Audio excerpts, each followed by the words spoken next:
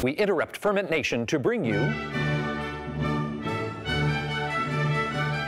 Hello, I'm Henry Percy Dovetongue, and you're not. this wine I'm holding right now is truly remarkable, both evanescent and flatulent, reminding one of spring nights, summer sausage, refreshing and crisp. No, no, not just crisp, extra crispy. Certainly not regular crust.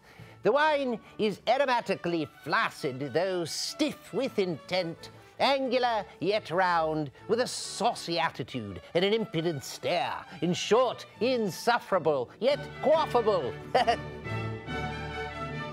Yeah, I don't know what that means either, and neither should you. But talking about wine is difficult. The words are weird. When talking about wine, we must think scientifically. So the first thing we think about the structure. The structure of wine is based on acid. Acid, very important to understanding wine. But is it total acidity or titratable acidity? I don't know which. I don't know what it means, but they're different, okay? But if we're talking about red wines, then we must talk about tannin. Tannin, very important to red wine. But sometimes we talk not about just tannin, but something else called catechins. Catechins, sometimes pHs. Sometimes we talk residual sugar. Now, residual sugar is sugar that makes the wine sweet. So why don't we just say sweet? I don't know. It's crazy. Weird. That's just weird. If you didn't understand it, well, then you're normal. And at some point, it starts to seem silly, like dancing about painting or singing about architecture. We're putting words to things that are usually talked about as merely good or bad, as in, yum, tastes good, give me more, Ew, what the hell is that? And whether we're talking about wine or your favorite ice cream or your mom's turkey dinner or whatever, it's really difficult to explain to someone else why it tastes so damn good. We just say it tastes delicious and usually leave it at that. So why isn't there just one red wine that's the very best and that's simply labeled delicious? Because your version of delicious and my version of delicious are different, just like your mom's turkey and my mom's turkey are probably different too. Maybe wine is an opportunity to talk about those gradations, to try to agree that there is nuance and subjectivity to flavor, but that it doesn't preclude us from communicating about it. What really matters is what you enjoy. Mm-hmm. So that's usually how I start out and say, oh, what kind of wine uh, do you like? have them start out with one wine and then don't pick the next until we, you know, see how they react, see, you know, talk to them a little about what they didn't or didn't like about the, the first wine. right? What works and what didn't work, right? People talk about wine like it has a personality, almost like it's a person. This wine is powerful and proud, boastful of its exuberant fruit and masculinity. Another wine is feminine, whatever that means, gentle, maybe timid. But winemakers, they do express themselves through their wines, believe it or not. They make choices about ripeness, oak, fermentation, all sorts of decisions that can morph the wine into what they want, maybe even into something similar to them. You know, like dogs and their owners. He's the senior wine dog. He's 15.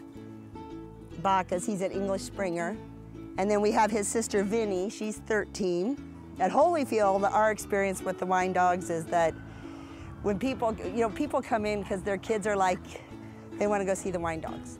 And then the parents can taste wine and the kids can play with the dog. And if they're not here, if there's not at least one dog here, people think something's wrong, you know. And then we have about three labels with dogs on them. So you spend a lot of time out here and they're good company. People feel less nervous or, or, or you know, take some of the weirdness out of wine by making it a little more friendly and fun. And the fact that you focused kind of on the cats, the cats that were here, I mean, did you adopt all these cats? Or these cats you've raised? I mean, Well, no, well, we've had them since kittens, Mm-hmm. um, but we're known as the cat dumping ground. but it, it's, it's like people remember the cats more than they remember the wines. oh, yeah, people remember them. They'll come in, ask for the cats. Oh, yeah, we'll taste some wine too, I think. And the wine, uh, yeah, yeah. uh, the yeah. cats, yes. Yes, definitely. The people will bring people to see the cats. So, uh, which is fun, it feels good. And it makes people feel more comfortable around wine. Well, here's another way to think about it all. I met this winemaker once, very shy, very quiet, stood in the shadows, and I tasted his wines, and they were bombastic, they were powerful, they were amazing. And the same afternoon, I met another winemaker who was gregarious and big and kind of loud, and I tasted his wines, and it's like they're delicate, and they're small, and they're fine and elegant, and it's as if each winemaker was using a wine to express a part of their personality they couldn't express any other way. But let me show you one other way to talk about wine.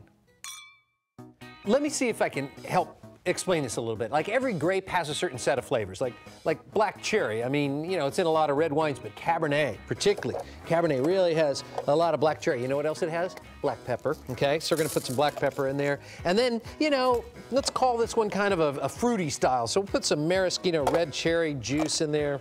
Stuff's kind of disgusting, but it's okay, it works. And then let's say it's a California Cabernet. It's warmer there. Grapes get riper.